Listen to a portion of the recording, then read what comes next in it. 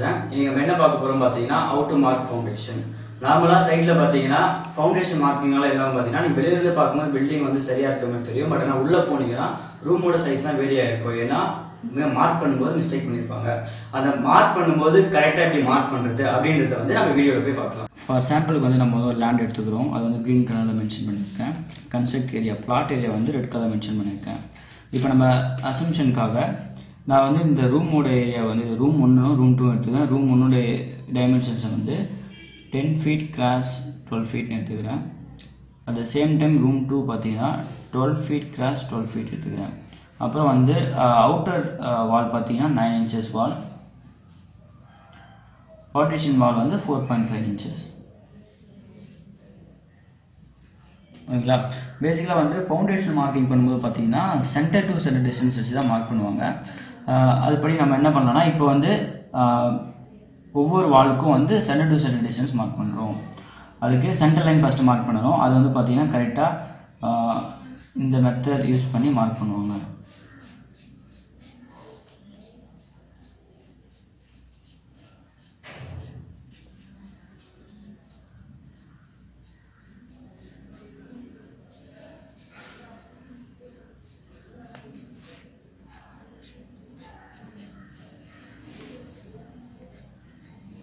For அசம்ஷனுக்காக நான் வந்து இதை வந்து ஏ பி சி எடுத்துக்கிறேன். மேலேயும் கீழேயும் இது ஒன் இது டூன்னு எடுத்துக்கிறேன். கிரிட்டோட நேமே இதை கொடுத்துக்கிறேன் இல்லைங்களா ஸோ மார்க் பண்ணதுக்கப்புறம் பார்த்தீங்கன்னா உங்களோட அந்த வே செக்ஷன் எப்படி இருக்கும் பார்த்தீங்கன்னா இந்த மாதிரி இருக்கும். ஸோ அதே தாங்க என்ன டைமென்ஷன் இருக்குது மார்க் பண்ணியாச்சு. இப்போ நம்ம மார்க் பண்ணும்போது பார்த்தீங்கன்னா அவங்க வந்து மார்க் பண்ணும்போது பார்த்தீங்கன்னா கிரிட்டு டு கிரிட்டு தான் வேல்யூ பார்ப்பாங்க. ஸோ நம்ம கிரிட்டு டு கிரிட்டு அதாவது வேல்யூ எப்படி கண்டுபிடிக்கும் பார்த்தீங்கன்னா நம்ம ஃபார் எக்ஸாம்பிள் வந்து டைமென்ஷன் வந்து கிரிட் ஏக்கும் கிரிட் பிக்கும் டைமென்ஷன் லென்த் எவ்வளோன்னு சொல்லிட்டு நான் பார்க்க போகிறோம் அது என்னன்னு எப்படி பார்க்கலாம் பாருங்க இது ஒன்றும் இல்லை. என்ன டைமென்ஷன் எவ்வளோ கொடுத்துருக்காங்க. டென் ஃபீட் கொடுத்துருக்காங்களா? டென் ஃபீட் ப்ளஸ்ஸு பார்ட்டிஷன் வாலோட centre partition வாலோட centre plus to the outer வாலோட centre அப்போது nine inches divide by two plus four point five inches divide by two இந்த வேலை நீங்கள் சால்வ் பண்ணிங்கன்னா ten feet six point seven five inches வரும்.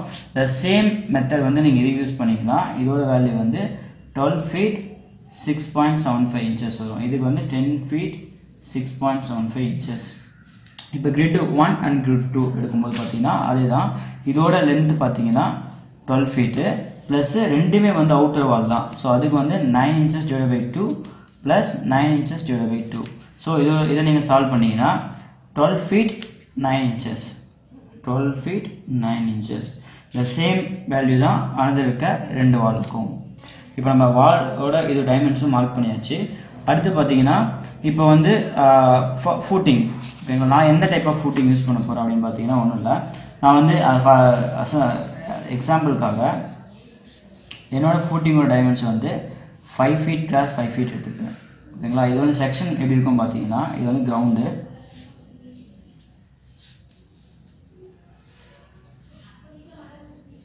என்னோட footing வந்து நான் வந்து ஸ்டெப்டு ஃபூட்டிங்காக எடுத்துக்கிறேன்.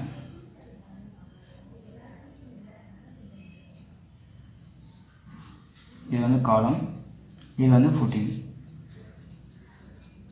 இது வந்து இதோட டெப்த்து வந்து பேஸ்ட் ஆன் த சாயோட ப்ராப்பர்ட்டி அப்போ வந்து என்ன டைப் ஆஃப் லோடு நீங்கள் யூஸ் பண்ணுறீங்க பொறுத்து அந்த இது வந்து மாறும். என்னோட லென்த்து பிரெத் வந்து ஃபைவ் ஃபீட் ஓகேங்களா? இப்போ ஃபைவ் ஃபீட்ன்றது நான் வந்து எடுத்து ஒர்க் பண்ணுறேன் இப்போ இதுக்கு சென்டரில் தான் வரும் காலம் வரும். காலத்தோட சென்டர் தான் நம்ம இப்போதைக்கு நோட் இப்போதைக்கு நம்ம மார்க் பண்ணியிருக்கோம். அதுதான் வந்து இது மாதிரி வரும். இந்த மாதிரி நம்ம மார்க் பண்ணியிருக்கோம். இங்கே வரும் எடுத்து ஒர்க்கு இங்கே வந்து காலம் வரும். இது வந்து காலம் இது வந்து ஃபுட்டிங் இந்த மாடல் இருக்கும். ஓகேங்களா இப்போ இதை வந்து எப்படி மார்க் பண்ணுறது அப்படின்றது இல்லை பார்க்கலாம். ஒன்றும் இல்லை நம்ம நம்மளோட டோ ஏரியா இப்போ நம்மளோட அந்த ஃபுட்டிங் பார்த்தீங்கன்னா ஃபைவ் ஃபீட் சொன்னோமா? ஃபைவ் ஃபீட்டில் வந்து சென்டர் டு சென்டேஷன்ஸ் படி பார்த்தீங்கன்னா டூ பாயிண்ட் ஃபைவ் ஃபீட் அப்போது நான் இந்த சென்டர்லேருந்து ஆப்செட் எடுக்கிறேன் two point five two point ஃபைவ்க்கு ஒரு ஆப்செட் வரும். அட் சேம் டைம் கீழே பிலோ பார்த்தீங்கன்னா அதேமாதிரி two point five left side அதேமாதிரி two point five up two point five so நீங்கள் எல்லாத்தையும் ஜாயின் பண்ணிங்கன்னா ஃபைவ் ஃபீட் இல்லை ஒரு ஃபுட்டிங் அதாவது இந் இந்த டைமென்ஷன்ஸ் பார்த்தீங்கன்னா டூ பாயிண்ட் ஃபைவ் ஃபீட் அதே மாதிரி இந்த சைடு பார்த்தீங்கன்னா டூ பாயிண்ட் ஃபைவ் ஃபீட் டோட்டலாக பார்த்தீங்கன்னா ஃபைவ் ஃபீட் இதே மாதிரியே நீங்கள் அடுத்து இருக்க எல்லா காலத்துக்கும் அதாவது எல்லா கிரிட்டோட ஜாயின்க்கும் பண்ணிங்கன்னா எப்படி இருக்கும் பார்த்தீங்கன்னா உங்களோட ஸ்ட்ரக்சர் வந்து இது மாதிரி இருக்கும். ஸோ கம்ப்ளீட்டட் இப்போ ஃபவுண்டேஷன் மார்க்கிங் பார்த்தீங்கன்னா இதுதான் எக்ஸாக்டாக இப்படி பண்ணிங்கன்னா மட்டும்தான் உங்களோட ஸ்ட்ரக்சர் வந்து கொஞ்சம் கிளியர் ஆகும். அது டே அட் த சேம் டைம் வந்து டைமென்ஷனும் சேஞ்ச் ஆகும் நீங்கள் ஸ்கொயர் போட்டிங்கன்னா ஸ்கொயர் இருக்கும் ரெக்டாங்கிள் கூட ரெக்டாங்கிள் இருக்கும் உங்களோட டைமென்ஷன் எதுவும் மாறாது. அப்புறம் வந்து சரி ஓகேப்பா நான் வந்து நான் வந்து மார்க்கிங் பண்ணிட்டேன். இப்போ வந்து அது கரெக்டாக இல்லையான்றது நான் எப்படி கண்டுபிடிக்கிறது அப்படின்னா ஒன்றும் இல்லை. நீங்கள் மார்க் பண்ணுவீங்க பார்த்தீங்களா? மார்க் பண்ணு பார்த்தீங்கன்னா கிரிட்டு மட்டும் இருக்குமா? கிரிட்டு மட்டும் இருக்கும். இப்போ அந்த கிரிட் இருக்குது அதில் நீங்கள் எப்படி கண்டுபிடிக்கிறதுன்னு பார்த்தீங்கன்னா ஒன்றும் இல்லை. சிம்பிள் மெத்தடு இப்போ நான் வந்து இதை மார்க் பண்ணிட்டேன் கரெக்டாக அது சேம் டைம் இது ஒன்று தான் மார்க் பண்ணிருக்கும் போது உங்கள் சைட்டில் பார்த்தீங்கன்னா டைல்ஸ் ஒன்று இருக்கும். டைல்ஸ் கண்டிப்பாக இருக்கும். அந்த டைல்ஸ் வந்து நீங்கள் கரெக்டாக இங்கே ப்ளேஸ் பண்ணணும்.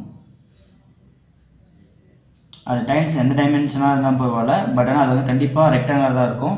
அது வந்து எவ்வளோ பெருசாக இருந்தாலும் சின்னதாக தான் பரவாயில்ல. அந்த டைல்ஸ் நீங்கள் ப்ளேஸ் பண்ணிட்டீங்கன்னா அதுக்கு பர்பண்டிகுலராக தான் இந்த பாயிண்ட் வரும். ஸோ நீங்கள் ஒரு டைல்ஸ் ஒன்று ப்ளேஸ் பண்ணிட்டீங்கன்னா இதுக்கு பர்பண்டிகுலராக தான் வரும். இதே மாதிரி அவுட்டர்லேயும் நீங்கள் ப்ளேஸ் பண்ணிட்டீங்கன்னா எல்லாமே கரெக்டாக இருக்கும் ஸோ இதெல்லாம் என்ன ஆகும் பார்த்தீங்கன்னா உங்கள் ஸ்ட்ரக்சர் வந்து கரெக்டாக ரெக்டாங்குலராக இருக்கும். எந்த காரணத்துக்கு கொண்டும் வேரி ஆகாது. ஃபார் எக்ஸாம்பிள் பார்த்தீங்கன்னா இப்போ நீங்கள் கரெக்டாக இங்கே இங்கே டைல்ஸ் வைக்கும்போது பார்த்தீங்கன்னா கரெக்டாக ரெக்டாங்குலாக வரும். ஆனால் நீ டைல்ஸ் வைக்காம பண்ணினா இங்கே ஒருத்தர் வைப்பார் அடுத்த ஒன்று இங்கே ஒன்று வரும் அடுத்து இங்கே ஒன்று வரும் அடுத்து இங்கே ஒன்று வரும். ஆனால் வெளியிலேருந்து பார்க்கும்போது வெளியிலேருந்து பார்க்கும்போது வந்து ஸ்ட்ரக்சர் கரெக்டாக தெரியும். ஆனால் உள்ளே போய் நீங்கள் பார்த்தீங்கன்னா டைமென்ஷன் கரெக்டாக இருக்காது. நீங்கள் எப்படி கண்டுபிடிக்கலாம் பார்த்தீங்கன்னா உங்கள் ரூமில் டைல்ஸ் ஒட்டும்போது நீங்கள் ஈஸியாக கண்டுபிடிச்சிடலாம். டைல்ஸ் வந்து கரெக்டாக ஒட்டியிருந்தாங்கன்னா கரெக்டாக ரெக்டா ரெக்டாங்குலர் முடிஞ்சதுன்னா ஓகே ஒரு சைடு கொஞ்சம் கிராஸாக வந்தால் கூட அவங்க இது மார்க் இது மிஸ்டேக் பண்ணியிருக்காங்க அப்படின்றத நீங்கள் ஈஸியாக கண்டுபிடிச்சிடலாம். இந்த வீடியோ உங்களுக்கு பிடிச்சதுன்னா லைக் பண்ணுங்கள் இந்த இன்ஃபர்மேஷன் யூஸ்ஃபுல்லாக நீங்கள் நினச்சிங்கன்னா அதை ஷேர் பண்ணுங்கள் இந்த மாதிரியான வீடியோவை நீங்கள் தொடர்ந்து பார்த்துட்டே இருக்கணும் அப்படின்னா சப்ஸ்கிரைப் பண்ணுங்கள் இது மட்டும் இல்லாமல் பர்சனலாக உங்களுக்கு சிவில் இன்ஜினியரிங்கில் எந்த சப்ஜெக்டாக இருந்தாலும் அது எந்த கான்செப்டாக இருந்தாலும் அது என்ன டவுட் இருந்ததுன்னா அதை கமெண்ட் பாக்ஸில் கமெண்ட் பண்ணுங்கள் அதை வந்து நான் எக்ஸ்பிளைன் பண்ணி அடுத்த வீடியோவாக போடுறேன். தேங்க்ஸ் ஃபார் வாட்சிங்